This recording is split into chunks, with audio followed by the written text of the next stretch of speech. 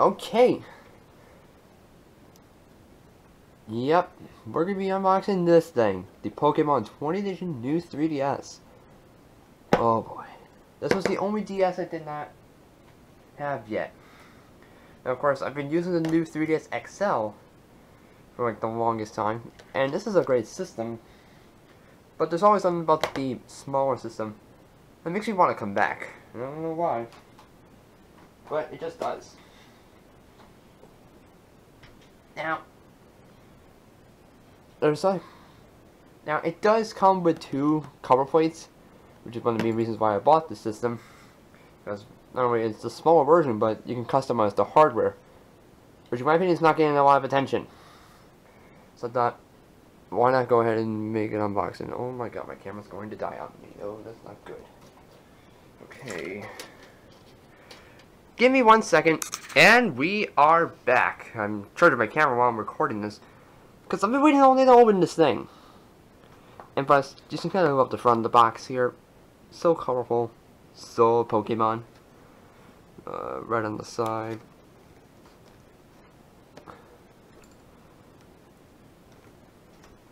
So, oh my god, here we go.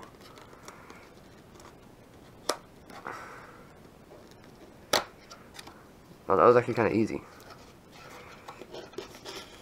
Everything's packed in here really, really tight. So we're just gonna pull on this. Alright, and what I forget some oh my god, there's a tray under here. And ooh, do I see what I think I see? Oh, whoop. AR cards. Yup, the download code for the uh, exclusive themes that come with this bundle. So don't want to see that. Or is it? Is this the download code for the game itself? Or does it? No, it, it's the theme. Okay. Uh, the operations manual, it's made for the 3, new 3DS XL, and just a uh, quick info card on how to remove the cover plates on the thing. Yep. Underneath this tray, we have one set of plates. We'll take a look at the cover plates near the end of the video, so be sure you stay tuned for that. Here we got the Charizard plate that goes on the top here, on the system. And that's actually a very nice build quality. That's actually kind of nice. And let's take a look at the system.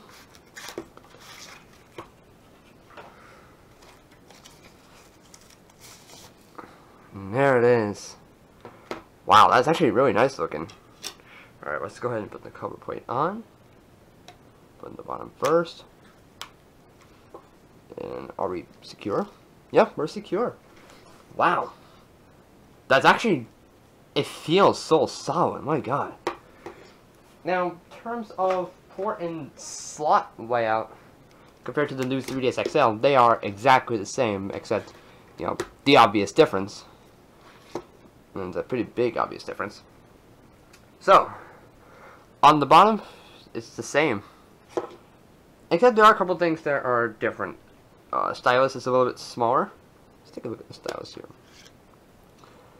Yeah, it's small. It feels a little flimsy. I mean, I still really like the new 3DS XL stylus. Maybe because of its uh, thicker form factor. But oh well. It's something I can get used to quickly. That's not familiar. Now, the power button's still on the bottom as well, but I heard in other videos the power button's kind of hard to push. So, and another thing I really like is that the system is white. I like the look of this. Hmm. So let's open it up. Oh my god, that hinge feels awesome. So solid. Wow. It's so quiet. You probably can't even hear that. The soft, oh my god. It's certainly much better than my new 3DS XL. Which snaps really loudly. I was I was never a big fan of it. The soft, the silent clicking on here. I like that a lot more. Wow. That's actually a really nice looking system. And it actually feels good in the hand. Kinda like that. The buttons are very, very clicky. Versus my model, lot softer. So let's grab the original 3DS with the compared to the new 3DS. And it's a little bit longer and uh, just a half a millimeter thicker. In terms of height, it's a little bit taller. So overall, it's pretty much a larger system, but it's not too bad in terms of its size. It's actually still pretty compact. And uh, if you compare the screens here, put my there it is. You can't tell right away, but comparing these screens are definitely bigger over the original 3DS. Uh, we go from a 3.5 inch 3D display to what was it like a 3.8 inch screen, and we go from 3 inches to 3.3 inches. So yeah, I actually really like this. So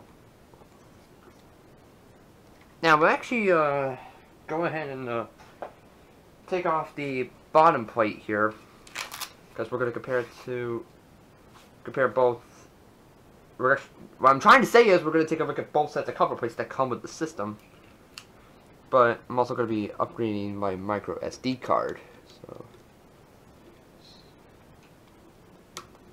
Okay that's one lock. That one's done. Alright that's two. And.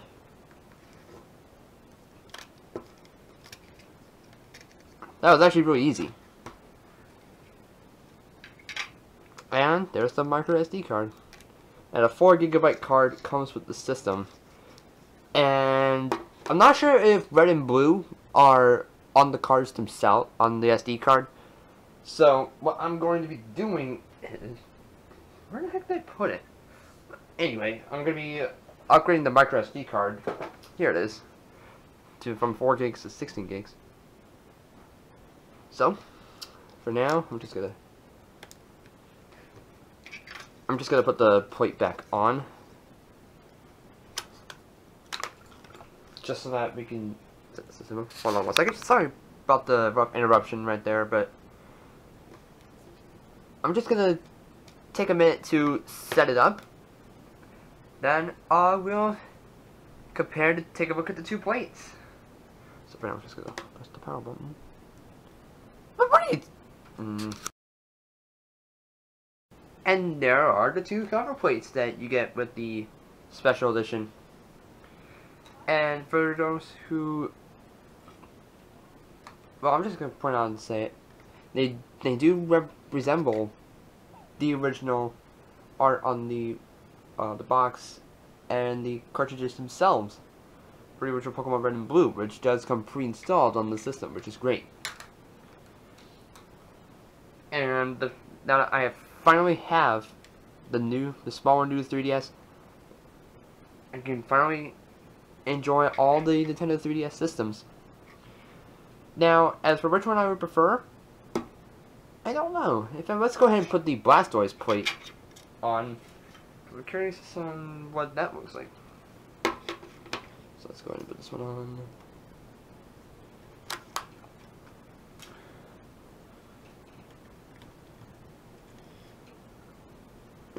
One screw.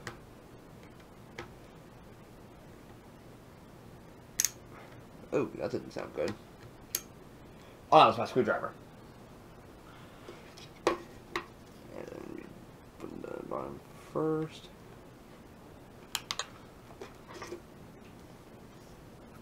Hmm. That looks kind of nice with the white, actually.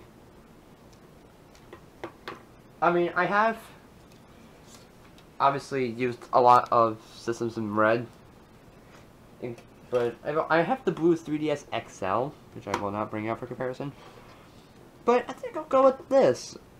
And go with the Pokemon Blue theme respectively. Because I... I mean...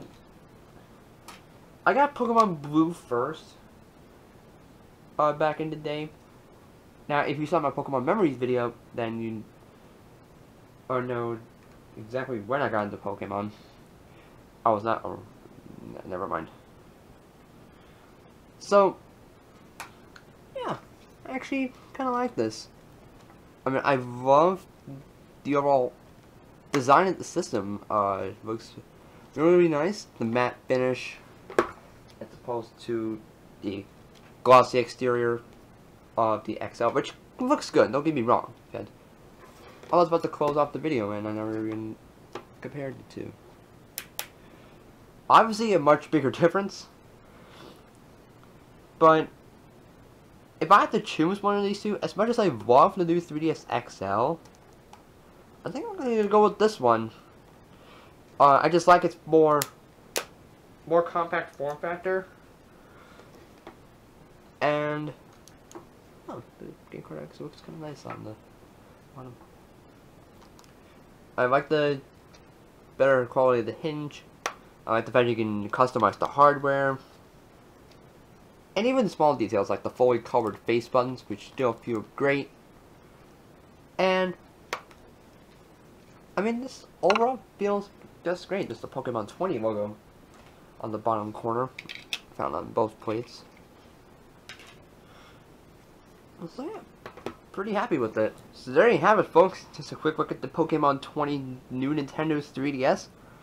Uh, like I said, I'm very happy with uh, what I've uh, got here. I mean, it's great that Pokemon has made a special edition of this specific hardware.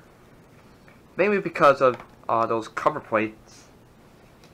And uh, they've got plenty of cover plates available in other regions. Uh, I know uh, Japan has like lots of them.